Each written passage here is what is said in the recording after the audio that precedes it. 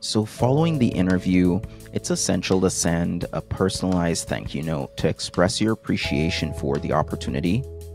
In the thank you note, reiterate your interest in the position and highlight the key points from the interview that showcase your qualifications and enthusiasm.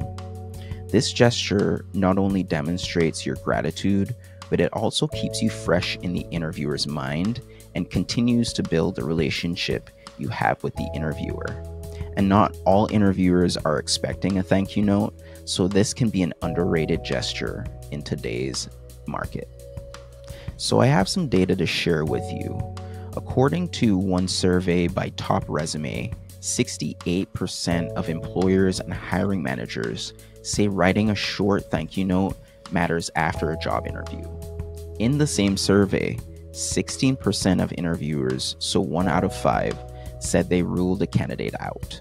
This is because they did not send a post interview thank you email or note.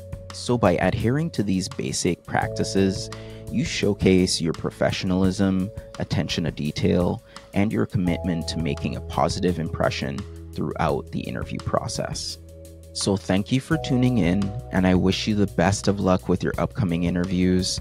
Don't forget to show your support by liking, sharing, and subscribing for more valuable career insights.